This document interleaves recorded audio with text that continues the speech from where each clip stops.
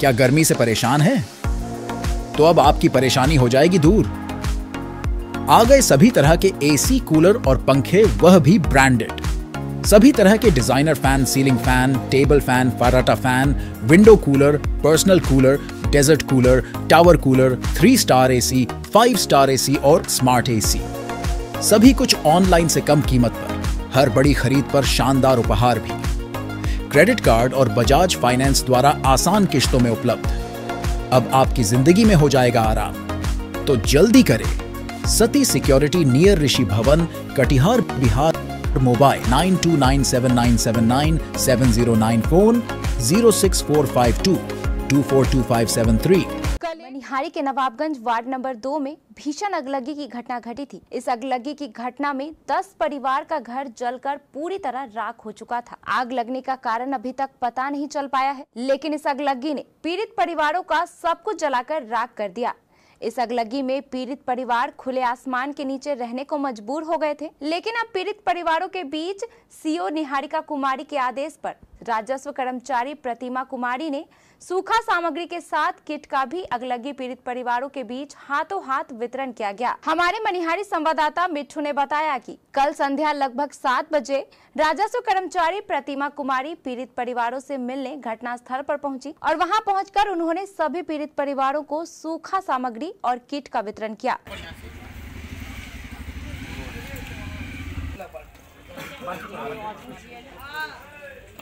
कोई पकड़ी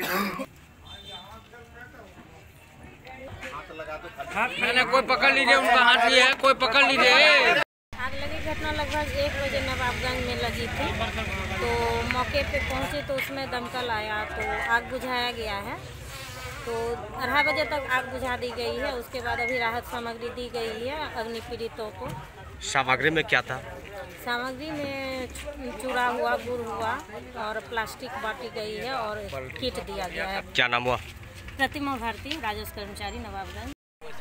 ये दुख की घड़ी में तो जिला प्रशासन की तरफ़ से योगदान मिलता ही है और अभी हम लोग देखे मनिहारी सीओ की तरफ़ से जो है प्रशासन की ओर से किट आया था चूड़ा था बाल्टी था और महिला किट था वो तो दिया गया। प्लास्टिक के साथ साथ। और संभव जितना हो सकता है प्रशासन की ओर से मदद होगा ये हम अपेक्षा रखते हैं क्योंकि ये हमारा लोकसभा क्षेत्र है। और रोज़ कहीं ना कहीं आग लग रहा है और प्रशासन की मदद उसमें मिल रही है और साथ साथ जनता की भी पूरा उसमें मदद मिल रही है जिसकी वजह से आग काबू पाया गया।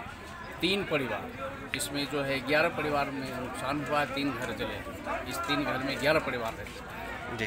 नवाबगंज क्या नाम हो? मेरा नाम साजिद है। आज नवाबगंज में बारह परिवार का घर जल करके लगभग दिन के दो बजे काफ़ी हवा का वेग होने के कारण काफ़ी ग्रामीण के सहयोग से आग पर काबू पाया गया किंतु बारह परिवार के घर का सारा सामान कपड़ा लत्ता रुपया पैसा यहाँ तक कि पशुधन की भी क्षति हुई जिस एवज में अंचल कार्यालय के माध्यम से हमारे कर्मचारी महोदया, जो फ़र्स्ट एड में पॉलीथीन, सूखा राशन, कपड़ा वगैरह ला करके उन्होंने किट के रूप में भी वितरण किया है और आश्वासन दिया है कि सरकार के तरफ़ से जितनी भी सामग्री होगी, उसको उपलब्ध कराया जाएगा और दिया जाएगा। ऐसे पीड़ित परिवार के लिए जिला प्रशासन से क्या मांग रहेगा? हमारा मांग ये है कि सभी का घर जल चुका है। इनको प्रधानमंत्री आवास योजना के तहत लाभ मिलना चाहिए। साथ ही जो पीड़ित परिवार हैं उनमें बीमारी से भी ग्रसित हैं उनका भी इलाज होना चाहिए।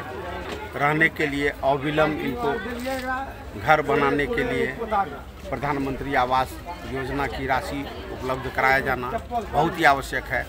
साथ ही सामुदायिक किचन चलाकर तमाम परिवार को तब तक राहत मिलना चाहिए जब तक ये अपने ऊपर खड़ा न हो जाए। मानवता मानवता की बात करें तो आपने समाज के लोग कितना बड़ा योगदान दिया? हम लोग समाज के लोग सब लोग मिल करके सबसे पहले इनके पास जो संसाधन उपलब्ध था, सामाजिक संसाधन उनके माध्यम से इनके घर का प्रयास किया गया। कोई मानव धन की क्षति न हो, उस पर हम लोग ध्यान सबसे पहले केंद्रित किए और स्थानीय आग बुझाने के लिए हमारे यहाँ एक टैंकर उपलब्ध था, जो आम के बगीचा में स्प्रे मशीन के माध्यम से किया जाता है। उस टैंकर के माध्यम से शेख सुल्तान जी अविलंब यहाँ उपस्थित होकर के अन्य घरों में आग न लग जाए, उसको बचाने में उन्होंने काफ़ी सहयोग किया और समाज के तमाम वर्ग के लोग, तमाम समुदाय के लोग अपने मेहनत के बल पर इस आग को काबू पाने में जो योगदान दिया है हम वैसे तमाम लोगों का धन्यवाद करना चाहते हैं, जिन्होंने इस नेक काम को अपने बलबूते अंजाम दिया है। उसको सौ सौ धन्यवाद देना चाहिए, जिसमें इस कार्य में अनेक लोग घायल भी हो चुके हैं, जिनका इलाज चल रहा है। प्रशासनिक पदाधिकारियों से आग्रह है कि उनके लिए भी जो उचित सरकार के द्वारा मुआवजा होता है, उनको, उनकी मांग हम रखते हैं कि उनका भी देख रेख हो और उनका समुचित इलाज हो। मैं प्रदीप सिंह, जिला अध्यक्ष, अति पिछड़ा प्रकोष्ठ, राष्ट्रीय जनता दल। वहीं मौके पर मौजूद कांग्रेस कार्यकर्ता शेरू खान ने बताया कि मनिहारी अंचल में फायर ब्रिगेड की स्थिति जर्जर है। इस पर जिला प्रशासन को ध्यान देने की ज़रूरत है। वहीं आगे उन्होंने यह भी कहा कि फायर ब्रिगेड को सूचना तो समय पर दी जाती है, परंतु फायर ब्रिगेड की गाड़ी समय पर पहुँच नहीं पाती। साथ ही साथ उन्होंने पीड़ित परिवारों के लिए स्थानीय प्रशासन से मुआवजे की भी मांग की। झारखंड के नवाबगंज पंचायत में लगभग 12 से 1 बजे किसी कारणवश आग लगी। हमें जिसकी सूचना मिली, मैं तो थाना ही कटिहार में था। तो मैं अभी आया तो मैंने सोचा कि हमारा क्षेत्र है और नवाबगंज हम लोग का एक तरह से घर ही है। तो हमने मानवता के नाता यहाँ पहुँचा और मनिहरी के प्रशासन से भी मैंने दो बजे संपर्क किया। अनुमंडल पदाधिकारी हो या सीओ मैडम से हो। तो उन्होंने हमें कहा कि शाम में जो भी तत्काल इमरजेंसी राशन होता है मतलब पोलोथीन चूड़ा बल्टी, जग वगैरह, वो वितरण किया जाएगा।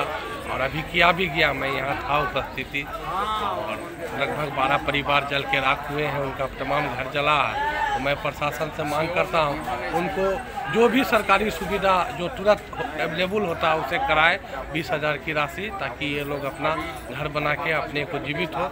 और मैं मांग करता हूँ कि आवास अगर जिन लोगों को नहीं मिला हो तो इमरजेंसी तुरंत प्रधानमंत्री आवास के तौर पर इन्हें मुहैया कराया क्या नाम हुआ?